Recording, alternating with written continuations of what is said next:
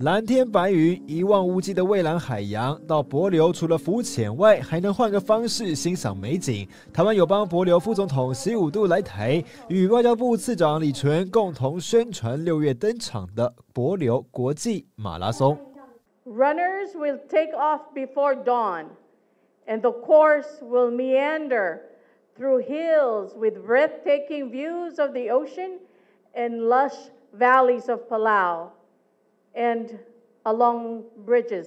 that cut across crystal blue waters。透过这样子的一个活动，它会让台湾以及更多的各国的友人亲身体验柏流的碧海晴天，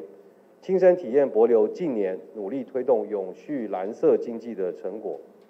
这场赛事包含退役网球选手卢彦勋、棒球国手曹俊阳等人都报名参加，以自身的专长在当地进行体育交流。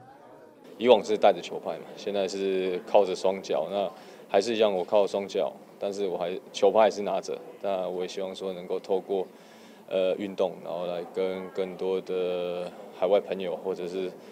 来去做更多的交流，这样子。路跑协会表示，柏流马拉松将在六月四日举行，全马四十二点一九五公里，半马二十一点零九五公里，另外也有五公里及十公里，可以让喜欢路跑的朋友轻松参与。